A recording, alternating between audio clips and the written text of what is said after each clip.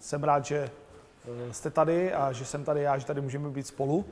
Eh, já jsem psal někde, že se těším na skutečné lidi, na, ve skutečné místnosti a tak. A mě už nebaví mluvit na tu kameru a na ten mikrofon, i když tady teda kamera je taky, ale tohle je mnohem lepší. Tak, eh, moje jméno je Petr Krčmář, krátký úvod. Jsem Linuxák, už strašně dlouho. Ehm, spravuju servery na zakázku firmám, zároveň jsem lektor a konzultant, to znamená, že věci, které umím, tak eh, dál učím a eh, konzultuju. Když přišla pandemie koronaviru, tak celkem hodně jsem se zabýval VPNkama, protože najednou všichni chtěli VPNky mezi, mezi pobočkami, mezi uživateli a podobně, takže jsem se tím zabýval poměrně intenzivně. Zároveň jsem to školil, protože hodně lidí si to umí nasadit samo, ale chtěli k tomu nějaká školení. Takže uh, proto jsem i připravil vlastně tuhle přednášku, která na to trochu navazuje. Uh, zároveň jsem šéf-redaktor portálu root.cz, který pravděpodobně znáte, vychází tam články, zprávičky nejenom o Linuxu. Uh, jsem aktivní člen VPS Free.cz, což je organizace Linuxáků, která vlastní servery fyzické v Praze a v Brně a e, členové si můžou na nich pouštět svoje virtuály a provozovat na nich svoje projekty, klidně komerční. Pokud vás zajímá Linuxový server, e, který má spoustu paměti, spoustu místa na disku a podobně, můžete se stát součástí téhle komunity. E, jsem organizátor Linux Days, zakládající, jeden ze zakládajících organizátorů. Letos bohužel tahle konference neproběhne, ale aniž bych vám řekl moc detailů, tak už se řeší příští rok a řekl bych, že je to nadějné a doufám, že příští rok už se sejdeme i v Praze, ale i v Brně určitě. Samozřejmě to neznamená, že, že eh, nepřijedeme sem. A můj web je petrkrčmář.cz. Tam už teď najdete tuhle tu přednášku, eh, tyhle ty slajdy, takže si nemusíte nic fotit ani opisovat rychle, je to k dispozici. A je tam i archiv nějakých starších přednášek, včetně těch, které proběhly předtím na starších nebo předchozích ročnících. Open Outu. Eh, co to je a co to není VPN? Eh, pro většinu lidí dneska, když se řekne VPN, tak je to nějaká služba, která vám změní IP adresu, nebo vás nějak ochrání před nějakým provozem na internetu, nebo vám změní geolokace, abyste si mohli pouštět Netflix z pohledu japonského uživatele a podobně. Eh, to jsou nějaké, to je vlastně věc, nebo u tohohle toho se nejvíc to, ta zkrátka VPN používá, proto většina lidí si pod, pod pojmem VPN představuje právě tohleto. Ale to jsou jenom konkrétní nějaké komerční služby, nejčastěji, které tady dneska já vůbec nebudu řešit. Jo? To je prostě jenom konkrétní implementace, za kterou si někdo nechá zaplatit, abyste se přes něj někam připojili. Pro tuhle přednášku je podstatné, že VPN znamená uh, Virtual Private Network, což česky je soukromá virtuální síť. A Vlastně nás bude zajímat, řekněme, ta technologie zatím, nebo jak se to používá, jak to celé funguje, jaké jsou ty hlavní principy. E, nepůjdu úplně do hloubky, nebudu se zabývat ani úplně konkrétníma implementacemi, spíš chci prostě vysvětlit princip VPN, e, čím se u toho zabývat, co vám to může přinést, e, proč je to užitečná věc, jak to třeba i používám já. V zásadě VPN umožňuje rozšířit nějakou vaši privátní síť napříč sítí veřejnou. Jo? Veřejnou sítí se dneska myslí především internet, ale nemusí to tak úplně nutně být jenom internet. Máme nějakou síť, která není pod naší kontrolou a my vlastně ji můžeme vlastně využít k tomu, abychom přes ní protáhli svoji, uh, svoji privátní síť, kterou pod kontrolou máme. Uh, nakonec to funguje tak, že uh, počítače v té síti si spolu vyměňují data, jako by byly spolu v jednom, v jednom prostoru. Jo? Takže dejme tomu, eh, můžeme mít dvě pobočky, jedna bude třeba v Praze, druhá bude třeba v Brně. Jsou to dvě oddělené privátní sítě, které spolu nemají nic společného a ty počítače se takzvaně mezi sebou nevidí. Jo? Když sedí jeden, jeden server, máme, budeme mít nějaký databázový server v Praze, sedíme s notebookem tady, nemáme k němu nějaký přímý přístup. Pokud provedeme tohle propojení pomocí VPNky, začne se nám to chovat, pokud to tak chceme, jako by ten databázový server prostě ležel vedle nás. Takže my ho najednou uvidíme, uvidíme všechny jeho služby, můžeme k němu přímo přistupovat. A e, to, že jsme pro to propojení použili tu VPN, je pro nás úplně jako pro uživatele nakonec neviditelné, je to úplně transparentní, prostě ten stroj má prezenci v naší síti a my se s ním můžeme bavit. E, existuje samozřejmě i řada různých jiných scénářů, k některým se dostaneme. E, to využití je velmi široké, ale my se dostaneme úplně na začátek, nejdřív k tomu samotnému uh, principu. Proč vlastně vůbec se tím letím způsobem propojování sítí zabývat? Primárně proč se to používá, je, že je to levné.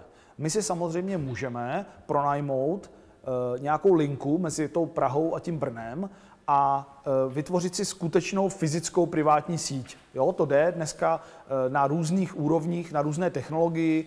E, jste schopni si prostě pronajmout až v, řekněme v tom, na té nejnižší úrovni jste si schopni pronajmout fyzické vlákno optické, které prostě povede z tohohle toho stolu až na jiný stůl někde v Praze v sedmém patře a tím pádem máme skutečnou privátní síť. Ale to je složité, protože zařídit to není jako na pět minut, to je prostě spousta práce a je to drahé. Jo? Musíte si pronajímat kapacitu u někoho dalšího. Um, proč ale tohleto, tohleto taky někdy potřebujeme, má to zase svoje výhody, ale uh, pro to běžné použití je fajn využít tu VPN, protože to je jednoduché, rychlé a využijeme stávající infrastrukturu, která se jmenuje internet, máme ji všude dostupnou, a vlastně místo toho, abychom měli opravdu konkrétně vyhrazené vlákno nebo nějaký kanál prostě z bodu A do bodu B, tak prostě využijeme ten univerzální internet. Ehm, je to i výrazně jednodušší, ehm, máme ho celou tu, potom tu, tu cestu vlastně máme pod kontrolou, my si určujeme pravidla na té síti tím, jak to nakonfigurujeme, máme tam svoje IP adresy, svoje směrování, svůj firewall, všechno je to potom na nás, což eh, přináší výhody v tom, že si vlastně můžeme řídit to, jak tu síť používáme. Um, Další výhodou je, že je to velmi snadno škálovatelné rozšiřovatelné. Když si pořídíme další pobočku v Českých Budějovicích, tak prostě zase nemusíme kupovat další vlákno nebo dokonce vlákna. Asi bychom chtěli mít trouhelník, že jo, aby to jako dávalo trochu smysl. Takže bychom měli zase koupit jako dvě vlákna, zase z Brna do Českých Budějovic a z Českých Budějovic do, Brna, eh, do Prahy. A eh, už se nám to komplikuje a prodražuje. S tou VPN se tohle to dělá, eh, dělá výrazně jednodušeji. Přidávat další body je snadné, zapojovat tu síť, zahušťovat, něco s tím dělat. Můžeme libovolně měnit tu topologii, protože to máme právě celé vlastně softwarově pod kontrolou. Je to celé softwarové řešení.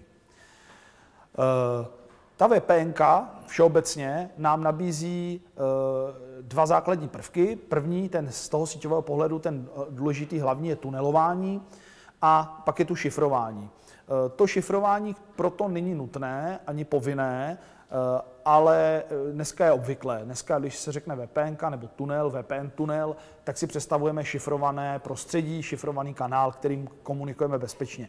Ale není to úplně nutné ve všech scénářích. Eh, například v rámci VPS Free eh, Ondra Caletka provozuje eh, server, na kterém dělá IPv6 tunely. Kdybyste chtěli mít tunel do nějaké sítě, kde není IPv6 a chcete si ji tam zřídit, tak je to i jako veřejně nabízená služba, nemusíte být členem VPS Free, napíšete Ondrovi, on vám zřídí tunel a přes IPv4 se pak tuneluje šestkový provoz. To není problém. Úplně na začátku, dneska, dneska to Ondra postupně převádí na WireGuard, a, což je jako jedna z implementací VPNky, eh, ale na začátku to běželo pod OpenVPN, vymysleli jsme to pod OpenVPN, s tím, že tam bylo kvůli šetření výkonu těch, toho, toho hardwareu, ani ne tak toho koncentrátoru v tom VPS Free, ale spíš těch krabiček v těch koncových sítích, tak bylo vypnuté šifrování. To znamená, že ta OpenVPN se jako spojila, autentizovala šifrovaně, ale potom ten samý přenos, samotný přenos dat šifrovaný nebyl. Protože k tomu jako není důvod. Tam není důvod utajovat tu komunikaci, ale tam je potřeba převést data z IPv6 do IPv4 a zase zpátky do IPv6. Jo? Takže tam vlastně eh, se potom bezpečnost eh, má zařídit na vyšších vrstvách, na aplikační vrstvě třeba, a ne v tom tunelu samotném. Čili existují scénáře, kdy ten, to šifrování se dá vypnout a nevadí to. Ale dneska je to spíš jako mentálně propojené tak, u některých se u toho WireGuardu konkrétně to ani nejde rozdělit, tam to šifrování vypnout nejde. Jo? Takže šifrování je um, tou součástí takovou jako běžnou. To podstatné je z toho síťového hlediska, že jde o takzvané tunelování provozu e, mezi těmi sítěmi. Ehm, my máme nějakou veřejnou síť, která umí, v principu internet takhle funguje, propojit libovolné dva body v té síti mezi sebou a předat, nějak přenést tou síti data. A my si vlastně vytvoříme eh, jaksi pevné propoje, virtuální softwarové mezi těmi body, ehm, přes které si potom ta data umíme po té síti posílat eh, mezi těmi, přes tu veřejnou síť mezi těmi privátními sítěmi. Čili tunelujeme provoz mezi zdrojem a cílem komunikace. Proč tunelujeme? Je to proto, že normálně, já to mám asi vlastně na nějakém dalším slajdu, ale jde o to, že my vlastně to, jak cestuje ten provoz po tom internetu, my neovlivníme. My tam ten paket umíme jako hodit a on nějak někudy projde, vůbec netušíme, a pak nám jako vypadne v cíli. Ale ten tunel právě umožňuje nám převzít kontrolu nad tím, odkud kam nám ta data tečou. Eh, tu bezpečnost zařizuje to, eh, zajišťuje to šifrování zmíněné, kdy eh, dneska ty protistrany používají nějaké velmi silné mechanismy, kdy zajišťujeme jednak šifrování, ale i integritu zpráv, abychom si byli jistí, že to, co nám vyleze z té VPNky, nám nikdo po cestě nemohl, nemohl upravit. Jak říkám, je to, je to volitelná varianta, ale je, je běžná. Zároveň to celé šifrujeme často, takže brání to i od poslechu, čili ten případný útočník není schopen nám data podvrhávat a není schopen je ani poslouchat. Samozřejmě to nezabrání v jejich úplnému jako odstřižení, to jako bohužel e, e, není, není možné, ale není schopen nikdo aktivně jako napadnout tu komunikaci. E, VPN z pohledu sítě je realizovaná tak, že je to vlastně podsíť nějaké nadřazené sítě. Nadřazená síť může být třeba ten internet a my v něm vytvoříme, v něm vytvoříme podsíť, která je součástí samozřejmě té sítě, kterou využívá. Jo? Bez, toho, bez té sítě nadřazené v té skutečné by nám ta VPN nefungovala. Uh, musíme ten internet prostě používat k tomu. Nebo budu říkat, že je to přes internet, protože je ten nejčastější, ale nemusí to tak skutečně nutně být. Eh, z pohledu uživatele potom na těch koncových stranách vlastně jde o eh, samostatnou síť, která je uvnitř a eh, je určená jenom pro vybrané uzly, které mají adresaci v rámci té sítě. Jo? Čili z tohohle pohledu potom my vlastně nejsme součástí internetu, jsme jenom v nějaké třeba té privátní síti, kde máme nějaký ten server databázový, jak jsem na začátku vymyslel ten příklad, a ten notebook.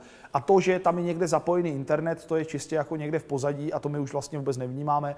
A jsme součástí téhle vybrané pocítě, ve které, dejme tomu, jsou jenom ty dva uzly, server a notebook, jo? ale žádný internet v tu chvíli pro nás vlastně eh, neexistuje, jsme jenom součástí té, eh, té pocítě. Uh, tak z pohledu sítě jde o další pocít, to jsem e, říkal, ano. A v rámci toho, eh, té pocítě musíme normálně zajistit e, všechny funkce, včetně směrování, abychom do té sítě dostali nějakou komunikaci a všechny komunikující uzly samozřejmě musí o, o té síti vědět, aby na ní mohli přenášet data.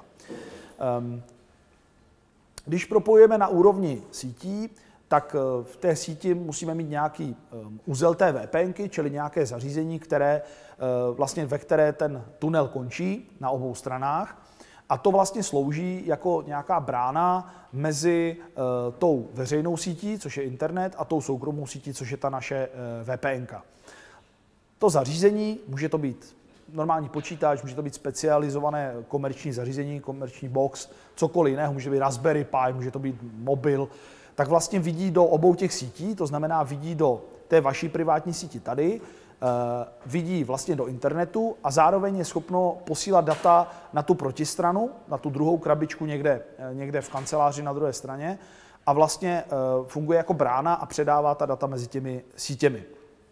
Výhoda je, dneska pořád ještě jsme v době IPv4 internetu a používá se velmi často NAT, neboli překlad adres, to znamená, že koncové uzly, třeba tenhle počítač, když se tady dole podíváte, eh, tak eh, ten má zrovna asi nějakou veřejnou adresu, ale jinak velmi často tam uvidíte nějakou privátní adresu, 192, 168 a podobně. Takže nejste schopni z nějaké jiné sítě, ať už z internetu nebo zase nějaké jiné privátní sítě, se s ním přímo spojit. Jo? Takže kdybyste chtěli nějaké služby vystavit do internetu, tak bez, bez veřejné adresy máte problém. Nebo dálková zpráva, typický problém já jsem nějaké privátní síti a nějaký můj správce se k tomu počítači prostě není schopen dostat. Tohle umožňuje ta VPN vlastně překonat celkem snadno, protože jak jsou ty sítě potom vlastně virtuálně propojené, tak eh, ty stroje jsou přímo dostupné a eh, bez ohledu na to, jakým způsobem je ta síť připojená k internetu, přes kolik nějakých překladů a podobně, tak eh, jsme schopni se v obou straně vlastně propojit k těm strojům. Už jsem zmínil slovo tunel. Ehm, Základem toho celého těch VPN jsou takzvané tunelovací protokoly. které umožňují přesouvat data mezi sítěmi, třeba přes ten internet, pomocí takzvaného zapouzdření no, nebo toho tunelování. Ehm, určitě víte, že po síti dneska běhají data ve formě datových zpráv neboli paketů, čili jsou, když posíláte soubor obrázek, tak se rozseká na nějaké malé části, ty se opatří hlavičkou a pošlou se do internetu.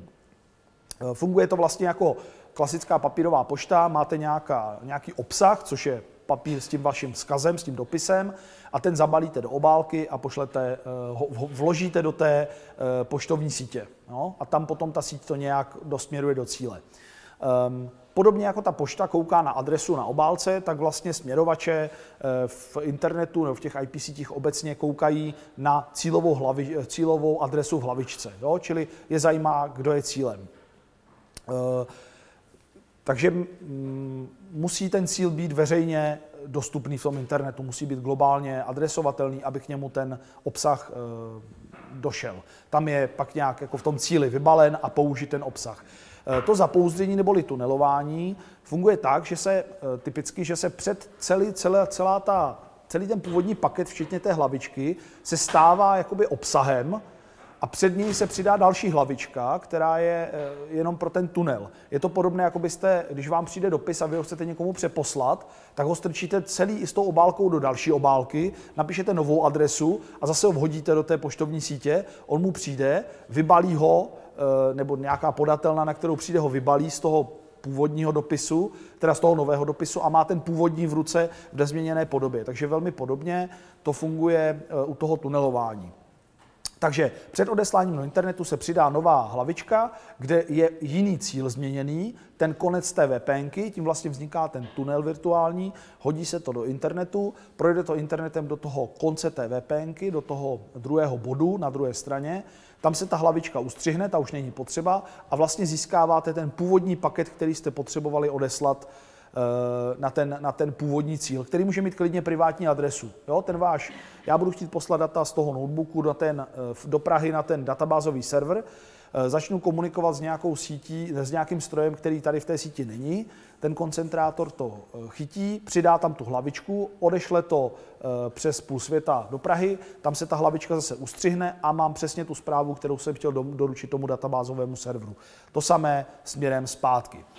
Podstatné je, že po cestě v tom internetu nebo v té směrovací síti se ty stroje dívají jenom na tu první hlavičku. To, co je za ní, jsou pro ně data to, že to začíná další hlavičkou, nebo klidně ještě další hlavičkou, toho nezajímá. On se do obálky v obálce se nikdo nedívá, že jo? takže toho nezajímá a směrování probíhá podle té hlavičky, kterou jsem tam e, přidal. Tam je ta hlavička odstraněna a zbytek toho paketu je použit normálním způsobem, jako by přišel po, po kabelu, akorát nám přišel po nějakém, e, do nějakého většinou softwaru, který se postará o to odstranění hlavičky. E, Jo, to je metoda, která umožňuje soukromým datům překonat tu veřejnou síť. To tunelování může probíhat na různých vrstvách. Pravděpodobně znáte nějaké modely OSI nebo TCP/IP, který je, který je dneska se používá častěji, sedmi vrství a ten TCP/IP je čtyřvrství. Tady je máte eh, načrtnuté, to je myslím jediný obrázek v celé prezentaci, jak se užijete. Já nejsem obrázkový typ. Eh, neumím tak jako kreslit. Ehm, takže eh, úplně nejspodnější je spojová vrstva, to je ta vrstva, která zajišťuje vyloženě tu komunikaci těch strojů, to znáte, to je Ethernet, Wi-Fi, DSL, může to být Bluetooth, USB, co chcete. Nad tím je síťová vrstva, to je ten protokol IP, ICMP, ARP a podobně, to je ta vrstva, kde spolu už komunikují jednotlivé stroje i mezi sítěmi. Eh, pak je tam transportní vrstva, což je typicky TCP, UDP a pak následuje velká aplikační vrstva, to už jsou potom ty samotné aplikace HTTP, TLS, SSH a podobně. Eh, vlastně na všech těchto vrstvách jste schopni udělat nějaký typ VPNky. Ty VPNky tím pádem vlastně rozbíjejí ten vrstvový model, protože vy vlastně uh, tam přidáváte ještě další vrstvu té VPNky. Jo? Třeba buď vy zdvojíte tu síťovou vrstvu, nebo na tu transportní vrstvu strčíte znovu síťovou vrstvu a celý ten stack ještě jednou zabalíte do nějakého UDP a podobně. Ale ono to v praxi nevadí. Ta VPN může jít od té spojové vrstvy, od té nejnižší, to může být třeba MPLS anebo VLAN, virtuální LAN. To pravděpodobně znáte, že jste schopni nad jednou um, fyzickou ethernetovou sítí vytvářet vlastně jako virtuální podsítě, tím, že ty rámce, které tam lítají, označíte jenom nějakým eh, číslem eh, té VLANy a eh, ty se šíří jenom do části sítě, kde to máte nastaveno. Takže už tady vytváříte vlastně něco jako virtuální síť. Ale pak můžete jít na tu síťovou vrstvu, to jsou různé GRE tunely, PPTP, IPsec a podobně, a nebo až po aplikační vrstvu, kdy vlastně um, tu, tu komunikaci té VPNky vlastně zabalíte do nějakého běžného provozu, nejčastěji UDP, a tam potom dále následuje ten vlastně celý, celý původní, uh, původní paket. Ten rozdíl, když zase zůstanu u, té, uh, u toho připodobnění k té poště papírové, je v tom, uh, jak, na, jakou, na jakou vrstvu půjdete, jestli ten dopis přepošlete jako celek, nebo z něj vyndáte ten papír a přebalíte ho do nějaké jiné obálky, anebo dokonce převyprávíte vlastními slovy na té aplikační vrstvě tu, eh, tu komunikaci. Eh, dá se, to, eh, dá se to různě a různé VPNky k tomu mají různý přístup a má to různé vlastnosti. Podle toho, co tunelujeme, jakou vrstvu přenášíme, podle toho se dá základním způsobem rozdělit ty jednotlivé typy VPNek. Eh, to nejzákladnější rozdělení je tady na, na druhé nebo třetí síťové vrstvě. Eh, pokud tunelujeme na eh, druhé síťové vrstvě, což je podle toho ISO osy modelu, tak vzniká vlastně takzvaný bridge, český síťový most, a přinášíme kompletně celý Ethernet. Čili pak se nám to chová, jako bychom byli opravdu, jako bychom propojili mezi uh, Prahou a Brnem opravdu ethernetový kabel se vším, s celými rámci, s veškerým provozem, který nám tam chodí. To má výhodu v tom, že je to nezávislé na vyšších protokolech, protože tím můžeme protlačit cokoliv, nejenom IP. To je prostě fakt jako celý Ethernet. Eh, nevýhodou je, nebo výhoda ještě je, že eh, pro to, ta zařízení je to úplně transparentní, vidíme úplně všechno, včetně broadcastů, multicastů a všeho, co si vymyslíme. Nevýhoda je, že je to eh, velmi náročné třeba na ten síťový přenos, protože my si tady třeba posíláme gigabit nebo 2,5 gigabitu nebo 5, ale po, té síť, po tom internetu jsme připojeni 50 megabitovou linkou, jo? takže tam jsou prostě tahle, tahle omezení. Naopak, um, a hůř se řídí ten provoz, prostě je to celý Ethernet. Eh, na vyšší vrstvě můžeme tunelovat na třetí vrstvě, kdy přenášíme jenom IP, to znamená, tam nás nezajímá Ethernet, to, co je jako níž, ty rámce, to my při tom, při tom přeskoku do té VPNky vlastně zázujeme a necháváme si čistě jenom IP, celý paket a ten přeneseme na druhou stranu. Um, tam se to potom chová jako samostatná IP síť, jako bychom byli připojeni do vedlejší místnosti, řekněme, eh, ve které jsou jiné adresy. A, takže je tam vlastní adresace a to zařízení pak vidí vlastně stroje v jiné síti, v jiném rozsahu adresním a e, chodí tam jenom IP provoz. Jo? Čili když tam budou lítat nějaké, nějaké jiné protokoly, tak ty se nám tou VPNkou nepřenesou. Ale dneska vlastně všechno je takové IP-centrické, takže vlastně běžný provoz, téměř všechno je, je dneska IP, takže to je to, co většinou chceme. Eh, různé tunelovací protokoly a mechanismy umí různé varianty, někdy obě, třeba OpenVPN, tam si můžete vybrat, jestli chcete tunelovat celý Ethernet nebo jenom IP. Eh, obvykle chcete eh, třetí vrstvu, to znamená jenom IP, protože to líp škáluje, líp se to filtruje, líp se to řídí, líp se s tím pracuje. Jo? Tady neznamená vždycky víc, že je líp, ale pokud nevíte, tak chcete, tak chcete tunelovat třetí síťovou vrstvu. Tady je nějaký přehled běžných tunelovacích protokolů, um, jenom takhle jako letem světem, existuje jich mnohem víc. GRE eh, je původně vyvinutý v Cisku, PPTP eh, je eh, rozšířený díky Microsoftu, protože ho podporuje Windows, ale je zranitelný kvůli slabé autentizaci. L2TP ve spojení s IPsecem propojuje dva protokoly, Opět eh, velmi často se používá právě proto, že je podporovaný přímo ve Windows. L2TP zajišťuje tunneling eh, druhé síťové vrstvy a IPsec nad tím dělá bezpečnost. Eh, případně ty aplikační oblíbené VPNky, OpenVPN, což je software, který využívá protokolu TLS, Ten znáte, dřív starší verze se jmenovaly SSL a, je to to, co se používá v HTTPS. To, co obaluje HTTPS tou šifrovací a autentizační vrstvou se jmenuje TLS. Tu samou věc používá OpenVPN pro posílání dat po síti.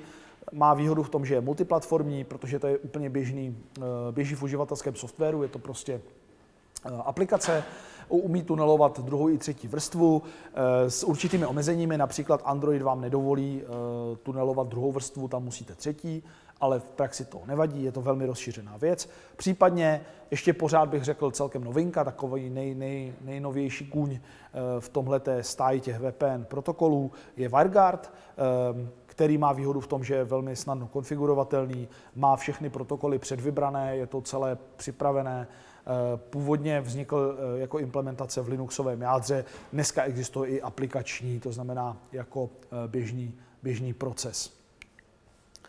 K čemu se ta VPN dá použít? Je tady několik těch ehm, případů, různých situací, kdy chcete nasadit nebo je vhodné nasadit VPN.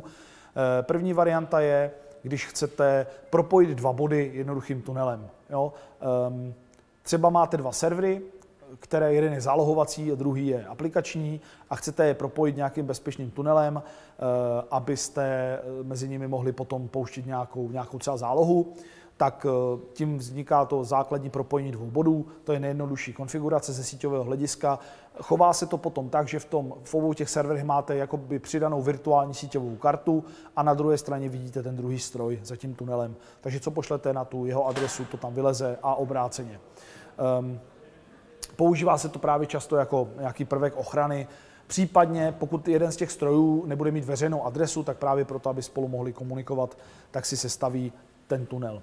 Uh, druhá varianta dneska právě i s tím koronavirem rozšířená připojení vzdáleného uživatele, tomu se někdy říká Road Warrior, uh, kdy máte jeden nějaký přípojný bod, ten se někdy nazývá koncentrátor, ten máte ve firmě a máte víc uživatelů, kteří se k tomu uh, bodu připojují.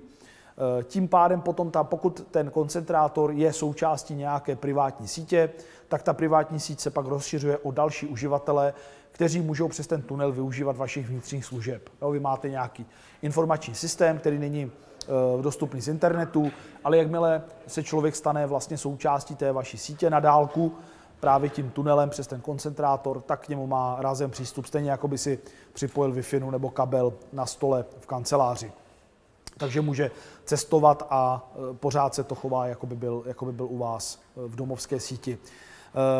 Tam ten jeden bod je teda centrálně zpravovaný a ten, ty další různé notebooky, mobily, další zařízení e, potom e, mají svoji vlastní konfiguraci v sobě. Jo? Čili je to point to multipoint, řekněme. E, tam je to, to je ten klasický prvek, prostě client server. E, případně třetí varianta, e, běžná propojení několika sítí.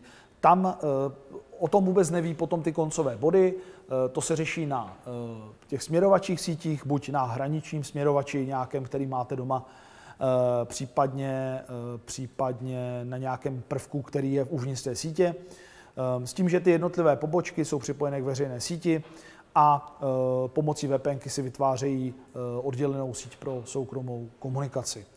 Ehm, mám třeba kolegu, který pracuje v celkem velké české firmě, oni mají desítky poboček po celé republice, vlastně v každém větším městě a e, mají ty pobočky právě popropojované, popropojované takhle velkou vpn takže oni potom mají všichni jako admini. A je to, každá ta, každá ta pobočka je připojená k jinému poskytovateli připojení. Uh, oni mají nějaké franchiseové nebo francízové, jak to takže to vlastní někdo jiný, tu pobočku, ale patří do jejich sítě. I oni jsou pak připojeni do té, do té jejich počítačové sítě a můžou využívat těch služeb. Tam ty koncové body o, tom, o té VPN se vůbec neví, tam to řeší uh, ta síť jako taková, jako službu a vlastně vy pak vidíte uvnitř uh, té sítě.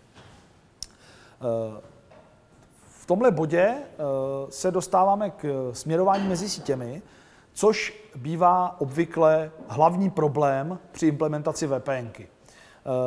Je potřeba si říct, že většina problémů na různých diskuzních fórech, které která se zaměřují na VPNky, tak ty problémy vůbec nesouvisí s VPNkou jako takovou. Jo, protože uh, natáhnout ten samotný tunel, nakonfigurovat, to je na tom to jako nejjednodušší, to funguje. ale většinou je problém v tom, že většina adminů narazí na síťování právě až s tou VPN. Jo? Do té doby to je strašně jednoduchá síť domácího typu. Mám jednu krabičku, tu mi tam nějaký někdo připojil SRO, někdo nějakým kabelem, dobrý, a do, do, do dalších děr mám napíchané počítače a mám tam Wi-Fi. Super. Ale tohle je nejjednodušší varianta. Ale jakmile do toho zapojím to, že ty počítače mají vidět víc sítí, jo, nebo ten směrovač má být připojený vlastně k více jakoby dalším sítím za sebou, tak už uh, většina lidí, nebo spousta lidí si na tom, nechci říct většina, hodně lidí se na tom vyláme zuby, aspoň podle těch for. Eh, protože ta nejjednodušší síť je, že máte eh, jenom dvě sítě za tím routerem, jedna je jako vaše LAN, druhá je venku WAN a je, máte jenom jeden odchozí směr k poskytovateli. Jo, ale jakmile eh, vytvoříte složitější topologii, což samozřejmě jde udělat i kabely fyzickými, ale většinou se na to narazí s tou VPN, tak přichází problém. Nejčastěji pingám na ten server, ale za ním jsou nějaké stroje, s které s tím serverem běžně komunikují on s nimi, ale přes tu VPN se tam nemůžu dostat. Jo? Tohle je nejklasičtější problém. Pingám druhý konec tunelu, ale nic za ním. Za ním jsou tři další sítě ve třech patrech, ale tam, tam nejsem schopen se domluvit. V takové situaci platí, že ten tunel je správně navázaný, ale není nakonfigurovaná ta síť, což už s tím tunelem samotným e, nesouvisí. E, buď je to tak, že eh, provoz nejde do toho tunelu v té místní síti, když tam komunikuju, anebo za ním neodchází do té sítě na druhé straně. Jo? Velmi často je, eh, to, to potom vypadá tak, že je vyřešený jenom ten jeden směr, obvykle odchozí, to znamená, já tady mám všechno v pořádku, když začnu pingat nějaký stroj v Praze, tak mi to odchází, ale nedostávám odpovědi. Jo? Eh, což pro mě uh, vypadá tak, že mi to prostě takzvaně nepingá prostě a nemám, nemám tu komunikaci. Um, s tím souvisí něco, co jsem nazval síťová dosažitelnost, um, protože uh, ty uzly VPNky v rámci toho, aby spolu mohli komunikovat, spolu musí být síťově dosažitelné, tím musíte úplně začít. Jo? To znamená, já mám někde nějaký, nějaké zařízení, které tvoří jeden konec té VPNky a pak mám někde druhý konec. A ty konce na sebe musí vidět, aby si mohli ty upravené pakety s tou dolepenou hlavičkou posílat po té síti. Eh, platí ale, že stačí, aby jedna strana eh, stačí, aby byla kontaktovatelná, což je to, že má veřejnou IP adresu. Čili máte někde v, v datacentru server nebo virtuál, ten má veřejnou adresu a to, že klienti zbytek té VPNky je za různými devateronaty, to vám nevadí, protože oni jsou schopni kontaktovat ten server. Uh, ideálně, když na sebe vidí obě strany a můžou tu komunikaci navázat obě, ale když to nejde, tak stačí, když to udělá jenom, uh, jenom jedna z nich. Nepotřebujete vidět. Všechny porty, většinou ty VPNky mají jeden nebo několik málo portů, eh, které používají, takže i když ten stroj, na který se snažíte navázat tu komunikaci, by neměl třeba taky veřejnou adresu, tak si můžete nechat třeba u toho WireGuardu protunelovat jeden UDP port na ten stroj, aby byl dostupný z internetu a v tu chvíli si uděláte tunel a už eh, jste pány situace. Eh, z té jedné strany se dá propojit u většiny těch VPNek i přes NAT, prostě klasicky kontaktujete server, vytvoří se na NATu pravidlo, které vám přehazuje komunikaci zpátky. Eh, tady jenom je potřeba dát pozor na timeout, protože ty eh, NATy se po nějaké době nečinnosti sami zavřou. Eh, prostě to pravidlo, pokud ho nevyužíváte v tom NATu, tak ono se třeba po 30-60 sekundách zahodí. Takže kdybyste, třeba ten WireGuard na to trochu trpí víc než ostatní, protože tam, když se nekomunikuje, tak je ticho na té lince a nad uzná po 30 sekundách třeba, že už je zbytečné to pravidlo tam mít a zavře. V tu chvíli, kdy budete chtít pingat zvenku z toho serveru na ten stroj za natem, tak se tam nedovoláte, protože to pravidlo v tom firewallu už neexistuje. Um, takže byste museli nejdřív zkusit komunikovat zevnitř a tím byste jako zase vytvořili to spojení. K tomu se používá věc, které se říká keep alive, což jsou vlastně, to je obecný mechanismus, kdy vy posíláte nějakou prázdnou komunikaci třeba jednou za 10 sekund tam prolítne paket, jenom aby se udržovaly otevřené ty naty, aby to fungovalo. Eh, další věc, eh, která tam může se hrát roli, jsou eh, různé firewally. Zrovna teď si někdo stěžoval ve fóru na Rutovi, že mu nějak nefunguje dobře VPN a nakonec sám si odpověděl, že došel k tomu, že tam měl firewall, který mu tu komunikaci zavíral. Jednak firewall může být na vnějším rozhraní toho uzlu VPN, máte tam nějaký otevřený port pro VPN a ten musí být dostupný a zároveň na nějakém vnitřním rozhraní v síti.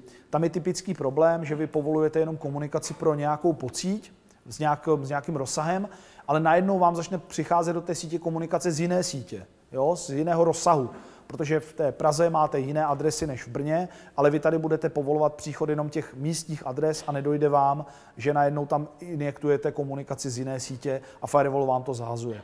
Na tohle je eh, potřeba dát pozor a procházení samozřejmě je potřeba otevřít eh, v obou směrech. Eh, jak to vypadá v Linuxu? Tam to nejčastěji konfiguruju já. Je věc zase, kterou je potřeba zapnout a to je povolení forwardingu neboli předávání komunikace. To je právě ta situace, kdy my potřebujeme komunikovat i se stroji, se stroji v síti za tím tunelem. Čili odsaď my máme tunel někam do té Prahy na nějaký server a za ním jsou další stroje a my s nimi chceme komunikovat.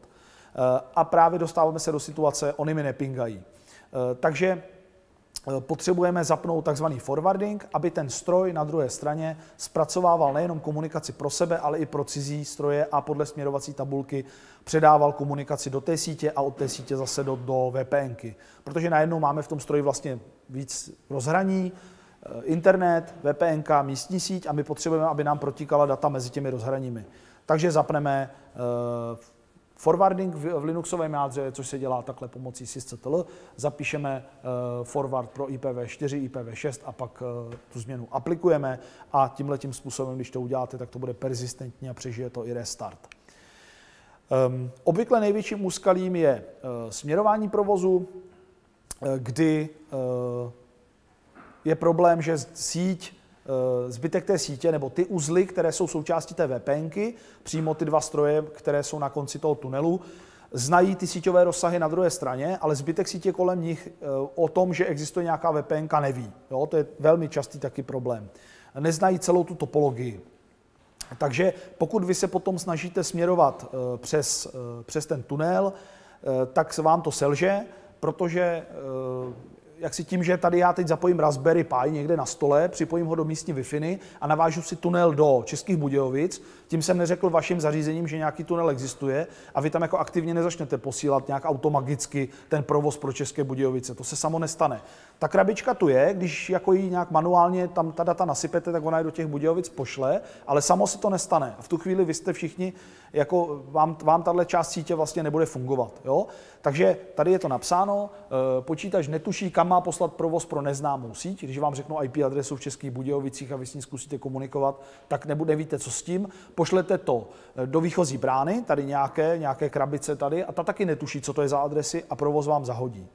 Takže je potřeba zajistit plnění směrovacích tabulek, eh, což znamená, že vy si musíte právě do svého zařízení přidat informaci o tom, že tento rozsah leží tady za tím Raspberry Pi a když s ním budu chtít komunikovat, házej to na něj, on uví už co s tím. To můžete udělat buď staticky, že si to tam prostě zapíšete a máte tu síť dostupnou, anebo můžete použít nějaké uh, routovací protokoly, uh, které OSP, BGP a další, které umí tuhle informaci potom v rámci těch mezi těmi, těmi sítěmi vlastně rozšiřovat a informovat o tom, že čau, já jsem Raspberry Pi a za mnou jsou vidět tyhle sítě, když s nimi budeš chtít komunikovat, hrň to na mě. Jo? Takže tohle se dá i automatizovat. Na co je potřeba dát taky v těch VPNkách pozor je eh, takzvaný adresní plán. Velký problém kolize adres v jednotlivých sítích. Dneska je problém v tom, že máme nedostatek IPv4 adres a používáme ko, e, privátní rozsahy, které jsou všem kolizní. Jo? E, mluví o nich, o nich RFC 1918, což se nám tady v České a Slovenské republice 1918 docela dobře pamatuje. E, jsou to tyhle ty tři rozsahy a v nich jsou dneska všechny privátní sítě. Eh, problém je, když právě třeba se připojujete z domova, kde máte jeden z těchto rozsahů a stejný rozsah používáte ve firmě. Tak pak směrovač neví, když data patří do téhle sítě, jestli to má poslat do tohohle rozhraní nebo do tamtoho rozhraní. Jo? Často se to stává, když jedna firma koupí druhou firmu, pak chtějí mezi sebou udělat nějaké tunely a zjistí, že eh, ty jejich rozsahy nejsou eh, unikátní. Dochází k konfliktu při směrování a ten směrovač neví, prostě ne- neexistuje unikátní směr, který by měl tu eh, komunikaci poslat. Řešení existují, eh, dají se dělat různé překlady adres, že budete se tvářit, že existuje sítě ještě další s jinými adresami a překládat mezi nimi eh, a budete překládat do nějakého nekolizního rozsahu a pak třeba zpátky. Mnohem jednodušší je udělat přeadresování jedné z těch sítí, vymyslet nějaký chytřejší adresní plán, kde řeknu 10.01 něco je pobočka táhle, 10.02 něco jiného je pobočka tamhle a, a tak dále. Připravit se na to, udělat přeadresaci, aby tam ty kolize nebyly. E, nebo máte možnost ty stroje všechny oadresovat veřejnými adresami, což taky někdo dělá. Jsou firmy, které mají adres i IPv4 dost a pro ně je nejjednodušší prostě oadresovat všechno veřejnými adresama a problém odpadá. U IPv6 to taky neřešíme, protože tam jsou všechny adresy globální a unikátní a tím pádem tam k té kolizi, eh, kolizi nedojde. Ale třeba tady místní síť, eh, ta eh, veřejná, tak ta IPv6 nemá. Tak, obvyklý scénář problému, jak to vypadá. Vytvoříme si VPN s tím, že máme konec tunelu někde uvnitř sítě. Řešil se nedávno, eh, klient měl v síti mu běželo diskové pole Synology a na něj se dá nainstalovat OpenVPN, nějaký balíček, klik, klik a je to. Jo? Dobrý. Takže uh, uvnitř té sítě běží třeba ten, to Synology uh, a tam máme protunelovaný port a umíme tam navázat uh, ten tunel. Dobrý, Eh, akorát přes tu VPN ze světa on byl schopen komunikovat jenom s tím polem, ale s nikým jiným kolem něj. Ale on to potom chtěl. Eh, nejdřív potřeboval využívat jenom služby běžící přímo na tom zařízení, což mu stačilo, a potom třeba k tiskárně vedle už se nebyl schopen připojit. Takže proč? Protože eh, o té síti za VPN ví jenom to pole, kde končí ten tunel. Tam, tam ve směrovací tabulce je i ten rozsah té VPNky ale jenom to pole o něm ví. Počítače kolem, třeba ta tiskárna o tom neví. Ostatní stroje eh, ten rozsah cizí nezná. Jo? Takže ve chvíli, kdy komunikace z té VPNky vyleze z toho diskového pole a dorazí na tiskárnu, tak to funguje, ale ona neví, kam má poslat zpátky ten, eh, ten provoz. Jo? Pošle to na tu bránu, brána taky neví, zahazuje. Jaké jsou možnosti? Nejjednodušší je ukončit tu VPN ne na libovolném zařízení v síti, ale na zařízení, které funguje jako výchozí brána, čili na nějakém vašem Wi-Fi, Wi-Fi, Wi-Fi routeru, něčem, co si dneska představíte jako výchozí bránu. E, ty stroje v té vaší síti pořád netuší, že existuje VPN, ale provoz, který neznají, pošlou té bráně, jakože do internetu a brána ví, že to nemá strkat do internetu poskytovateli, ale nejdřív to má strčit do tunelu a pak teprve to odejde ven. Druhá varianta, naučit všechny stroje v síti Eh, ten nový rozsah, to znamená říct každému stroji v síti, eh, existuje tat, tento další rozsah, ten je za VPN a posílej to na diskové pole Synology, které si s tím umí poradit.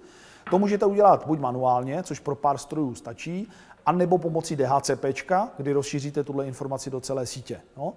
Třetí varianta je nedělat tohle, ale do té výchozí brány přidat směrovací záznam, že eh, pokud provoz má jít na tuhle ten rozsah, který je někde za tou VPN, tak to otoč na to diskové pole. Jo? Čili potom ten provoz sice půjde jako neoptimální cestou na, na, na router a potom do druhého zařízení, od kterého bude odcházet, ale tohle bude fungovat taky. E, jaké nástroje se hodí pro analýzu? Tak základ je ping, který posílá ICMP zprávy na druhou stranu a testuje průchodnost v obou směrech. Jo? Čili vy pošlete ICMP echo a vrátí se ICMP replay, to určitě znáte.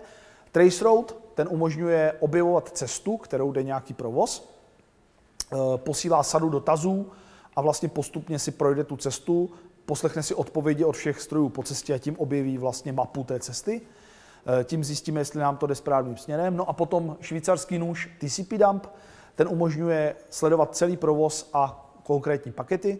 Tam umožňuje velmi hluboký pohled do té komunikace, umí interpretovat známé protokoly, takže vám i vypíše, tohle je ping na tenhle stroj a tohle je odpověď z toho stroje zpátky, on vám to rozepíše, nebo vám umožňuje se podívat i do binární podoby těch paketů.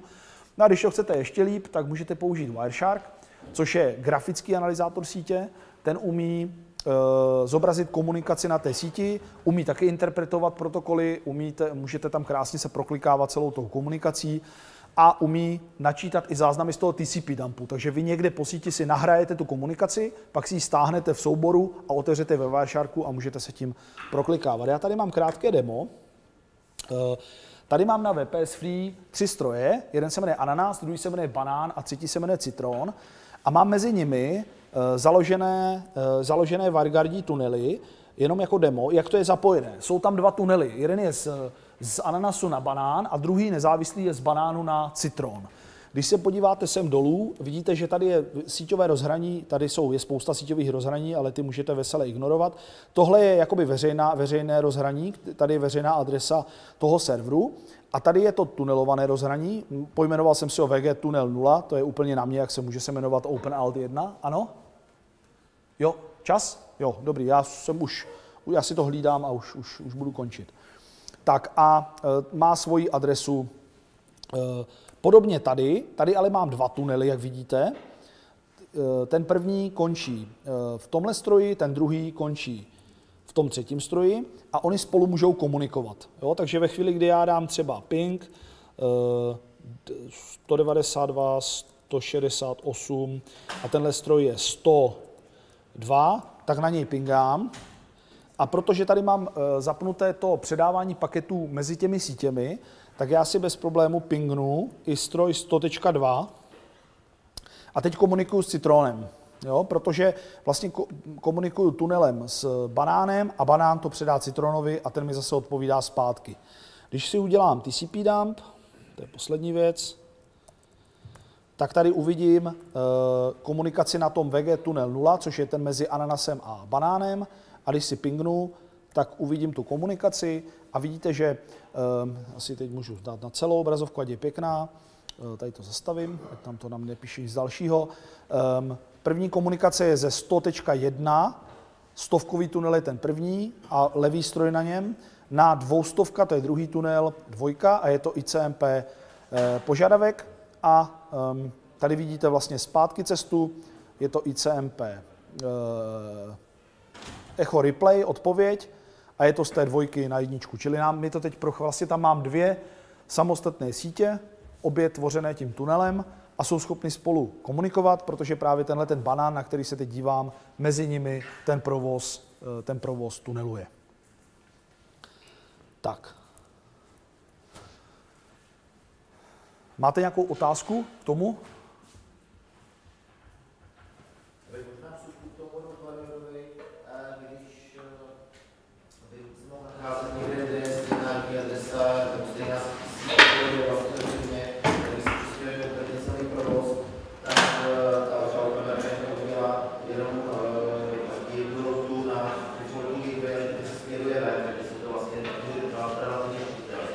Ano, ehm, to je poznámka, že eh, si můžu udělat eh, vlastně veš, svést veškerý provoz síťový do toho tunelu a tím pádem vlastně jsem schopen s tím s tou VPN komunikovat. No to záleží ještě na dalších okolnostech, ale a mimo jiné, eh, i když se to podaří, tak nebudu mít zase dostupné ty stroje kolem sebe doopravdy. Jo? Takže já můžu mít domácí tiskárnu s adresou 1.1 a firemní tiskárnu 1.1, ale můžu vidět vždycky jenom jednu z nich. Jo? Nebo si můžu dělat třeba eh, explicitní routu jenom pro ten jeden stroj u sebe, takový cherry picking, že si jenom vybírám a řeknu si prostě, pokud budu chtít komunikovat s adresou 1.5, tak ji vždycky pošli do VPNky, pak si teda s neviditelným stroj kolem sebe, ale pro nějakou třeba dočasný zásah, budu chtít zpravovat tu tiskárnu, něco na ní nakonfigurovat, tak to udělám, neuvidím sice svoji domácí tiskárnu, ale já během toho tisknout nemusím, můžu tam něco nakonfit a pak to zase schodit. To taky používám občas. Prostě bohužel v těch privátních sítích k těm kolizím dochází a jako je potřeba to vždycky nějak, aspoň nějak dočasně, dočasně vyřešit. Ještě nějaký dotaz?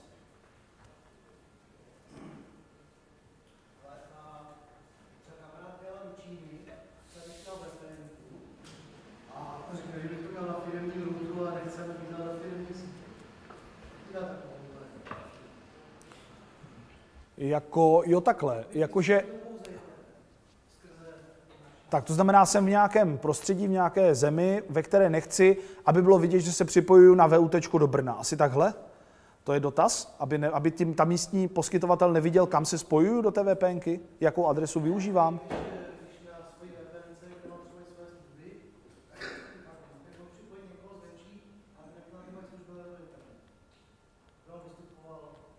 Jo, takhle. Aby, aby, abych prošel z té, z té nepřátelské země do VPNky, ale neviděl moji síť, ale vidím můžu jenom do internetu. Jasně, no tak to se zařizuje firewallem samozřejmě.